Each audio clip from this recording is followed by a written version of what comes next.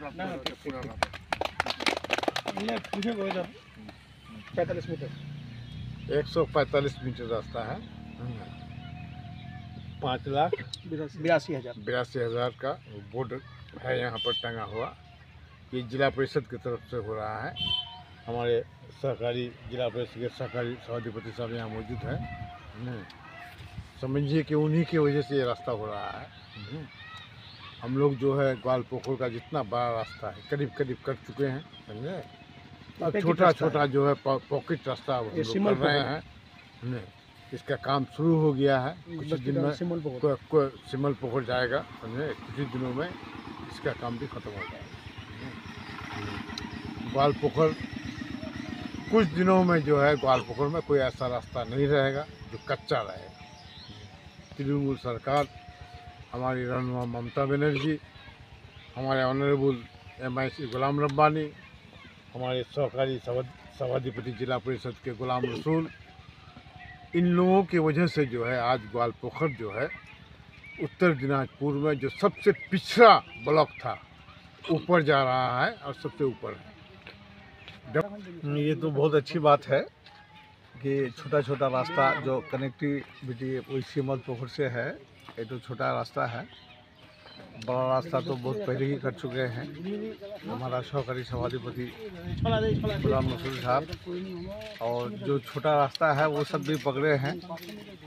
मैंने उनके इलाके में मोटा मोटी करीब 95 परसेंट रास्ता हो ही गया है। छोटा छोटा रास्ता भी हो गया है, कुछ बाकी है। ये उनका दैन है यह हमारा पार्टी का दैन है। इसमें मंत्री साहब भी हैं और ये टीएमसी पार्टी का बहुत बड़ा खूबी है कि हमारा इलाका इससे पहले आप लोग सुन ही चुके कि प्रधान साहब बताया कि बहुत पिछड़ा इलाका था, रास्ता बहुत ख़राब था। अब यह रास्ता ग्वाल पोखर ख़राब कोई नहीं कर सकेगा, बहुत अच्छा है। और थोड़ा बहुत जो बाकी है वो भी बहुत जल्द हो जाएगा। ये हमारी पार्टी की यही खूबी से तो ये नहीं ऐसा बात नहीं है जो एडिट होगा। इससे पहले जो यहाँ देख रहे हैं, ये रास्ता भी मंत्री साहब का देन है। और इससे आगे जो गया उसको भी मंत्री साहब का देन है। और ये मुनि भाई का जो बड़ा रास्ता है टोटल हम लोग का इलाका में हो चुका है। खाली एक बड़ा रास्ता देवीगंज वाला सोलपुरा है वो भी लाइन में। वो भी इंशाल्लाह हो जाएगा कुछ दिन में ही हो जाएगा। मंत्री साहब भी बोल दिया मुनि भाई भी बोल दिया है। अब जो पॉकेट रास्ता है सबको ग्राम पंचायत में बोलता है जो किसका किसका छोटा रास्ता है किसका किसका ज़रूरत है उसी हिसाब से हम लोग देते हैं। उसी हिसाब से अब छोटा रास्ता भी करने लगा है बहुत ही खुशी का बात है ताकि हम लोग का परेशानी ख़त्म हो जाए बड़ा रास्ता तो ऑलरेडी हो चुका है छोटा रास्ता अब पकड़ना शुरू किया इंशाल्लाह ऐसा भी रास्ता हम लोगों के हाथ से मुनि भाई कर के देता है बहुत खुशी का बात है बहुत अच्छी बात है এগুলো আমরা দিয়েছিলাম ছোট ছোট রাস্তা যেন গ্রামে লিঙ্ক করে শিমল পুকুর এই রাস্তাটা শিমল পুকুর গোয়ালপুকুর জিপি আমাদের এখানকার সিনিয়র লিডার শফিউর রহমান সাহেব আছেন আমাদের এক্স প্রধান ইব্রাহিম সাহেব, আমাদের এক্স প্রধান ফৈয়াজ সাহেব, আমাদের পঞ্চায়েত সমিতির মেম্বারও আছেন উনি হেলথের কর্মদক্ষ আছেন উনি। তারপরে আমাদের অঞ্চল প্রিসার মুক্তার সাহেব আছে এখানে। আমাদের এই ওয়ার্ডের মেম্বার আসলাম সাহেব আছে, আমাদের ওজির সাহেব আছে, এক জেলা পরিষদ মেম্বার। আর এজেন্সিও আছে এখানে, আমাদের বাবুলও আছে আমাদের জিপি মেম্বার সবাই আছে এখানে।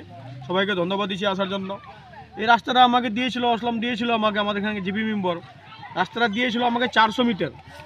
কিন্তু এখন স্যাংশন হয়েছে একশো মিটার, বাকিটা আরও করে দেবো আমি। এর সেকেন্ড ফেজে ওটাও করে দেবো আমি। আরও দুই একটা রাস্তা খারাপ আছে গোয়ালপুকুর জিপিতে। আমরা ওটাও ধরে নেব এরপরে আমরা লোকসভার পরে। প্যাকেট রাস্তাগুলা বড় রাস্তা নাই। প্যাকেট রাস্তাগুলা। আমরা কিছু রাস্তা আরও রাস্তা সিদ্ধ করতে পেরেছি এবার আমরা ইনোগ্রেশন করব। যেরকম আমাদের একটা রাস্তা চলছে এনবিডির কাজ চলছে বেলদিয়া পুকুর থেকে তেপসা বেদবাড়ি তিন কোটি সামথিং তারপরে ভেরিস্তানে চলছে একটা তিন কোটি সামথিং আমার খাগড়ে চলছে দেড় কোটি সামথিং এরকম অনেক আমি আরও দিয়ে একটা রাস্তা উদ্বোধন করব গোয়াগাঁও টুতে গোয়াগাঁও হ্যাঁ তারপরে ওনে আমাদের মহুয়া আহ, জানগাঁও এগুলো চারটা পাঁচ- পাঁচটা অঞ্চলে আরও আমি রাস্তা ইনোগ্রেশন করব। এই সপ্তাহের মধ্যেই করব যেগুলো আমরা দুশো মিটার পাঁচশো মিটার এক কিলোমিটার দেড় কিলোমিটার অবধি আছে। আমরা খুব ভালো লাগছে আমাদের অনারেবল চিফ মিনিস্টার মমতা দিদির অনুপ্রেরণায় আমরা কাজ করতে পেরেছি আর উনি যে ফান্ড দিচ্ছে আমাদেরকে আমরা ভালোই ফান্ড পাচ্ছি ওনার স্টেট গভর্নমেন্ট থেকে। তারপরে আমাদের মন্ত্রী গুলাম রাব্বানি সাহেব অনেক সহযোগিতা করেছে আমাদেরকে। আমাদের জেলা পরিষদও অনেক সহযোগিতা করেছে, আমাদের ব্লক সহযোগিতা খুব করেছে আমাদেরকে, যে গোয়ালপুকুরে যত যত ছোটো রাস্তা আছে, সব রাস্তাগুলো যেন কমপ্লিট করা হয়।